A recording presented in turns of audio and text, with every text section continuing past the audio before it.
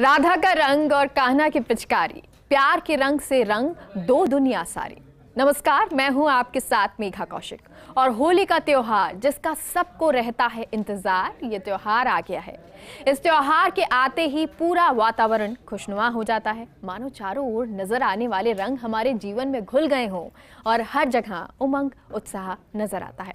इन रंगों के साथ आप कैसे इस बार होली मनाएँ, जानिए हमारे खास शो में और साथ ही साथ आपकी होली शुभ रहे, यही हम उम्मीद भी करते हैं। तो चलिए शुरुआत करते हैं शो की।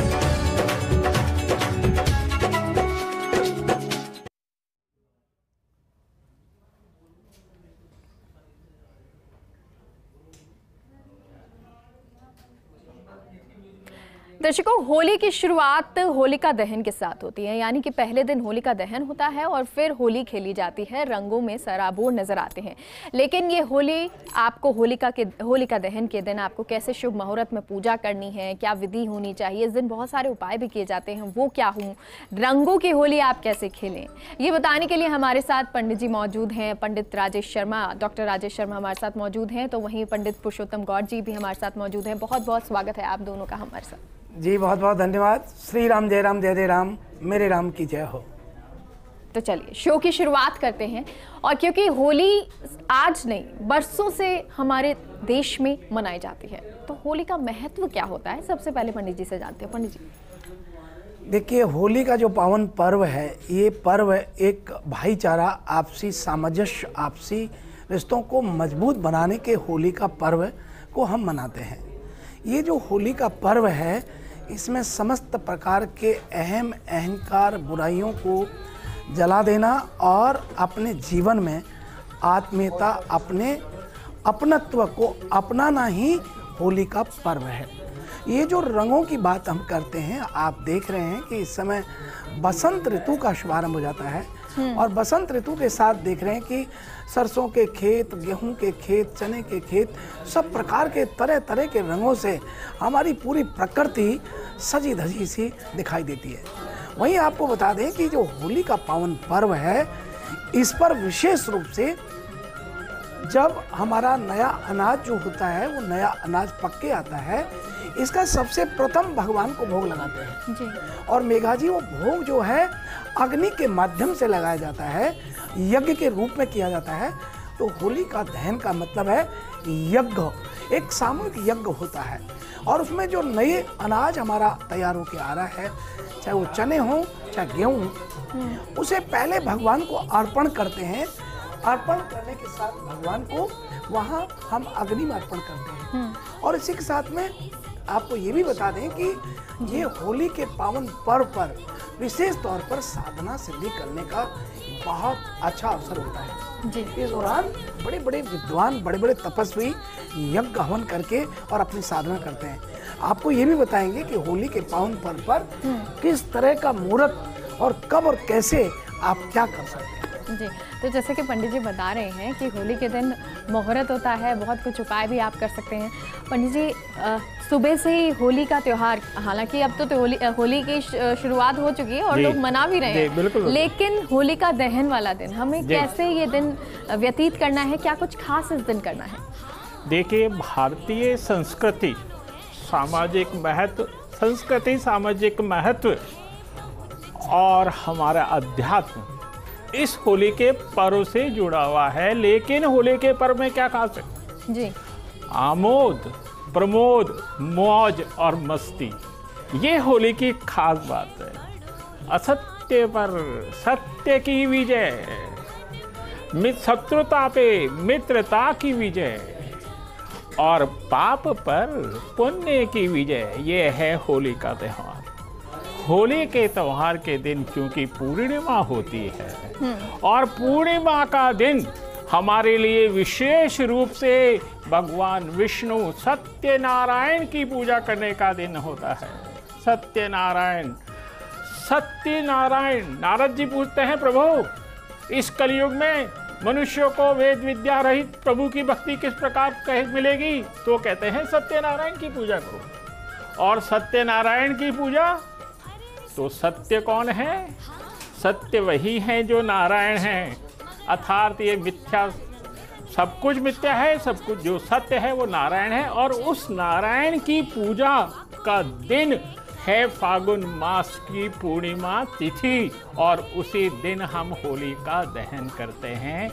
इसलिए सभी भक्त सुबह से नहा धो के तैयार होके सबसे पहले सत्यनारायण की पूजा करें और शाम को जिस जगह होली का दहन होता है उस स्थान पर जाएँ और उस स्थान पर जाकर अपने साथ जल का लोटा लेके जाएँ नारियल लेके जाएँ अबीर गुलाल लेके जाएँ, मिठाई फल लेके जाएँ, लौंग और सुपारी लेके जाएँ और साथ साथ उसके धान लेके जाएँ। चने का दाल ले गए, गेहूँ ले गए, चावल ले गए, सब इत्यादि लेकर आपको वहाँ पधारना है, जहाँ पर होली का दहन हो रहा है। और आपको सबसे पहले वहाँ पर जाके जल होली के चारों तरफ़ परिक्रमा करते हुए डालना है। लेकिन आपको उल्टा चलना है। सीधा ही चलते हुए जल अर्पित नहीं करना है होली को। ये सभी भक्त याद रखें। उल्टे चलते हुए होली के चारों तरफ़ सबसे पहले जल छोड़ें और जहाँ से आपने परिक्रमा शुरू की थी, वहीं बैठकर होली को सभी सामग्री अर्पित करें। अर्पित करने के बाद वहाँ से कच्चे सूत को आप ज़रूर साथ में ले जाइएगा और कच्चे सूत को चारों तरफ़ लपेटिएगा होली के पाँच बार पाँच दफ़ा आपको परिक्रमा प्रदक्षिणा परिक्रमा जो भी आप बोलते हैं वो करते हुए आप उसको चारों तरफ़ बाँध देंगे बांधना नहीं है छोड़ना है गांठ नहीं लगानी है। गांठें खोलने का ही तो त्यौहार होली होता है तो गांठ तो हमें लगानी ही नहीं है। इस तरह हमें भगवान की पूजा करनी है। जब तक प्रहलाद वहाँ मौजूद हैं तब तक उसकी पूजा कीजिए। जी। जी तो ये तो विधि आपको बताई क्या क्या सामग्री जब आप जाएँ होलिका दहन के लिए वहाँ लेकर जाएँ। लेकिन पंडित जी मुहूर्त क्या है? शुभ मुहूर्त क्या है कल होलिका दहन का? देखिए मुहूर्त की जब हम बात कर रहे हैं तो पूर्णमासी का प्रारंभ दोपहर एक बज के तीस मिनट से लेकर के शुक्रवार के दिन बारह बज के अड़तालीस मिनट तक पूर्णमासी रहेगा।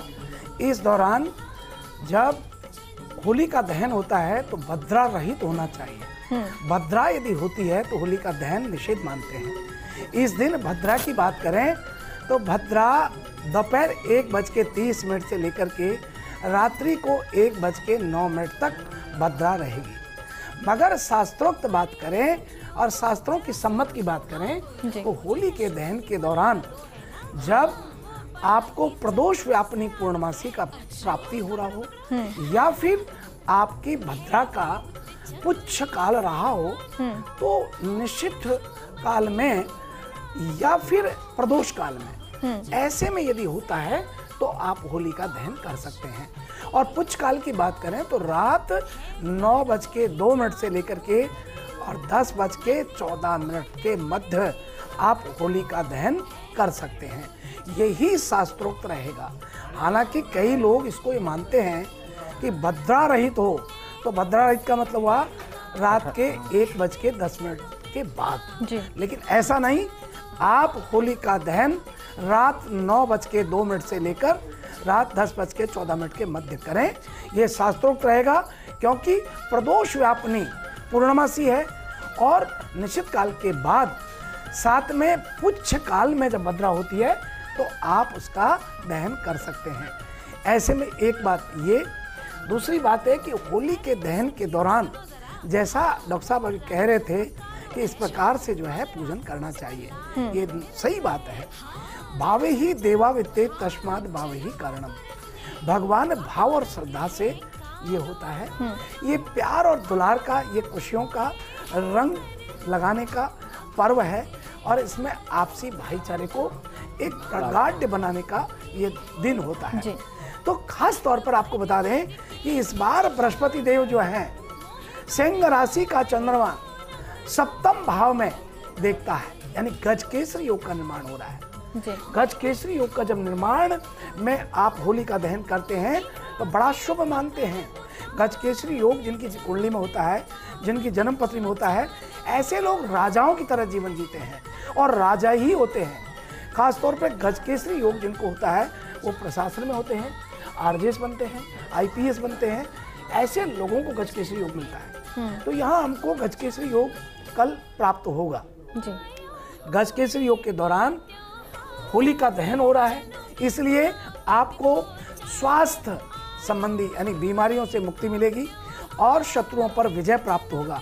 संपूर्ण प्रदेश और देश में यहाँ शत्रुओं पर विजय प्राप्त होगी और बीमारियों से मुक्ति मिलेगी। लेकिन एक बात मेघा जी बता देना चाहता हूँ कि इस दौरान जो आप होली का दहन करते हैं तो सभी लोग एक साथ होते हैं। विशेष ध्यान रखने की बात है कि जैसा अभी डॉक्टर साहब ने कहा कि उल्टी परिक्रमा लगानी चाहिए। लेकिन ये आठ उल्टी परिक्रमा करते हुए और होली के दहन के दौरान जब होली शांत हो जाती है तो वहाँ से अग्नि लानी चाहिए। जी बिल्कुल। और अग्नि को ला करके परिणा कहते हैं पानी के स्थान पर या फिर जल के स्थान पर उसको स्थापित करते रखते हैं।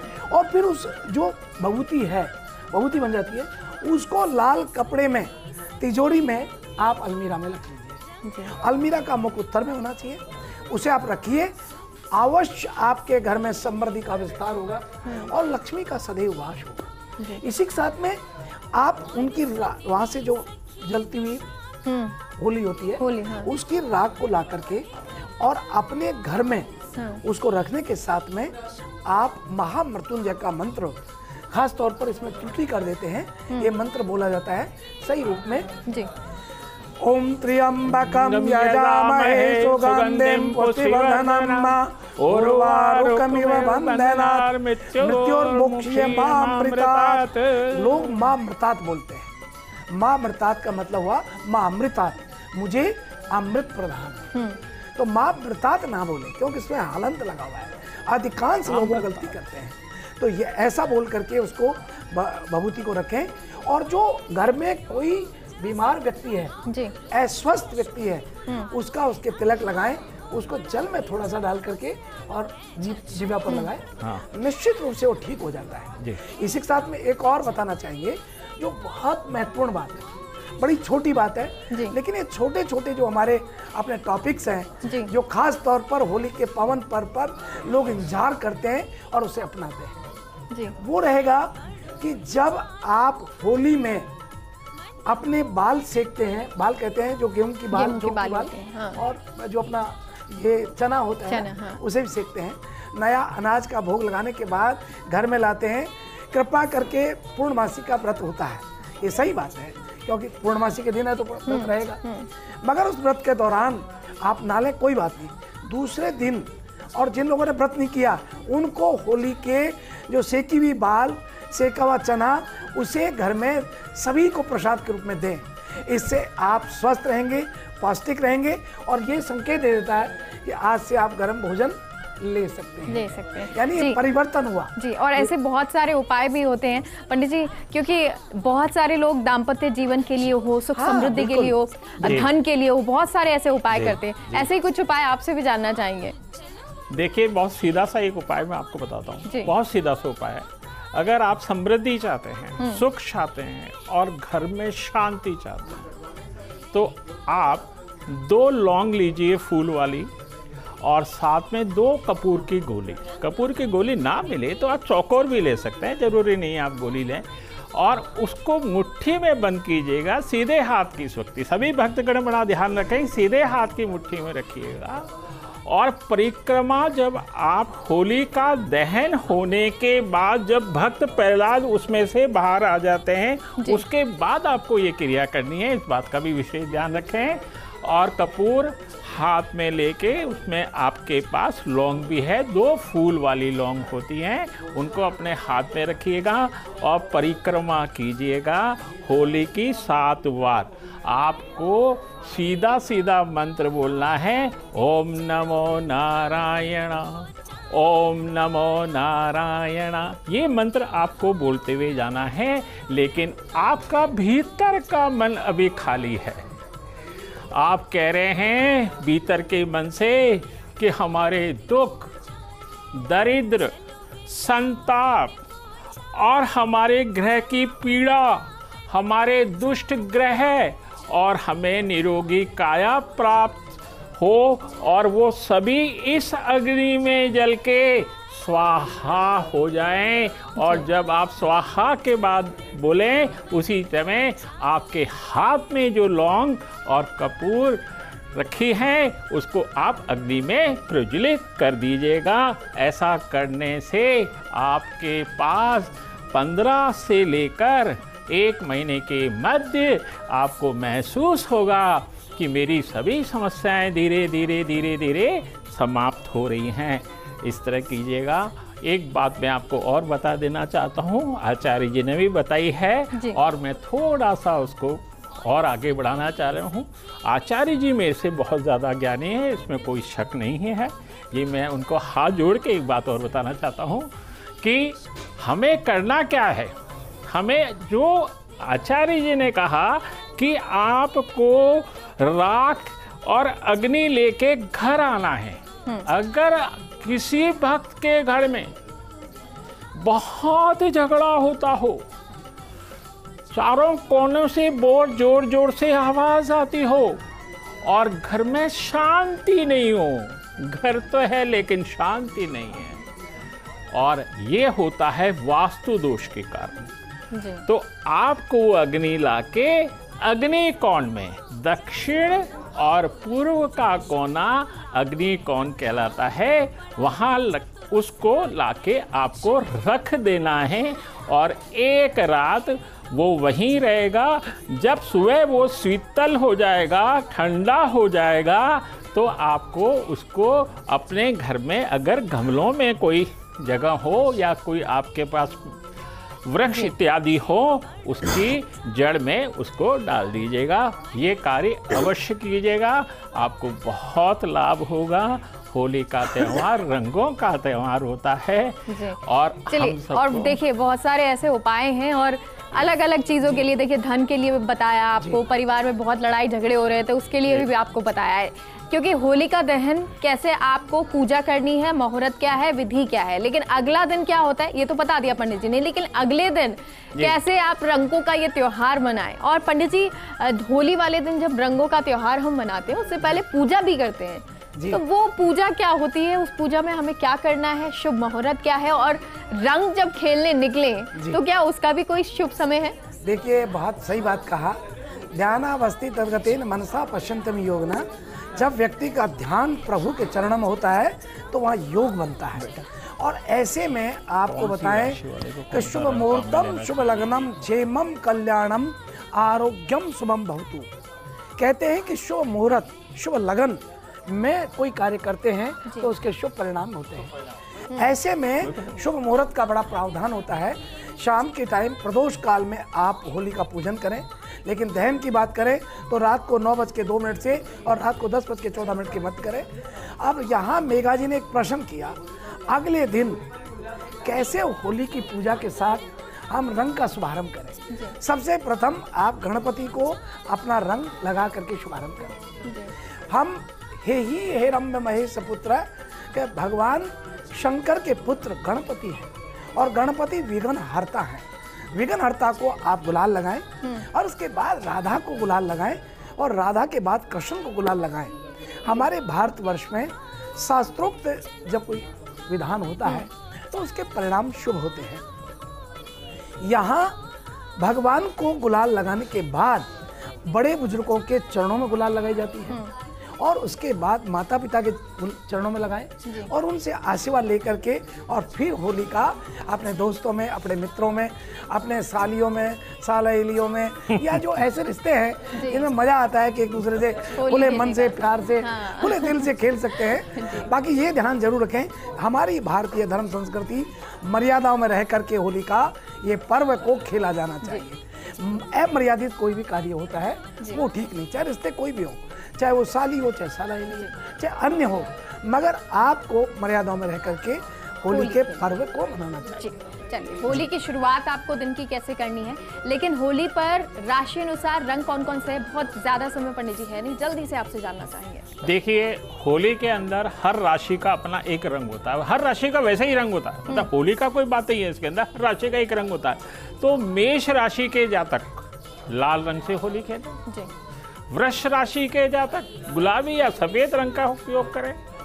मिथुन राशि के जातक हरे रंग का उपयोग करें। बीस वर्ष मिथुन कर्क राशि के लोग पीले रंग का उपयोग करें। सिंह राशि के लोग पुनः पीले रंग का उपयोग करें। और वृश्चिक राशि के लोग नीले रंग का उपयोग करें। नीला और लाल रंग दोनों का उपयोग कर सकते हैं वृक्ष राशि के लोग। कन्या के और जी। कन्या राशि के लोग पुनः देखिए कन्या राशि का रंग हरा रंग होता है। कन्या राशि का रंग हरा होता है इसलिए कन्या राशि के लोग हरे रंग का उपयोग करेंगे। वृश्चिक राशि के लोग मैंने बताया लाल और नीले रंग का उपयोग करेंगे। वृश्चिक के बाद धनु राशि के लोग गुरु की राशि होती है। गुरु की राशि होने के बाद पुनः पीले रंग का उपयोग करेंगे। और धनु राशि के बाद मकर। मकर शनि की राशि होती है। वही गहरा भूरा नीला काला मैं नहीं कहूँगा। ये रंग का उपयोग आप लोग करें तो बहुत ही आनंद आएगा। यही कुंभ राशि वाले करेंगे और मीन राशि वाले पुनः पीले रंग का उपयोग करें। पीले रंग का उपयोग करने का तात्पर्य यह है कि आप जिस राशि के हैं उस रंग का उपयोग करें। ऐसा नहीं है कि आप किसी को रंग लगाने जा रहे हैं पूछे तुम्हारी राशि कौन सी? फिर आप रंग लगे। ऐसा मैंने नहीं कहा। मैंने कहा आप जिस राशि के उस राशि के रंग को लेके जाए।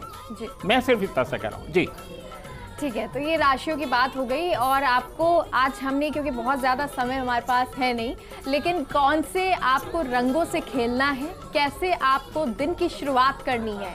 होलिका दहन कैसे आपको इस पर्व को मनाना है कैसे पूजा विधि होनी चाहिए और क्योंकि इस दिन खास तौर पर कुछ उपाय होते हैं तो वो ज़रूर कीजिएगा जो हमें पंडित जी ने बताया। बहुत बहुत शुक्रिया आप दोनों का हमसे जुड़ने के लिए। बहुत-बहुत। श्री राम जय राम जय जय राम मेरे राम की जय हो। होली के पावन पर्व पर सभी दर्शकों को हार्दिक हार्दिक शुभकामनाएँ। राधे राधे कृष्ण कृष्ण।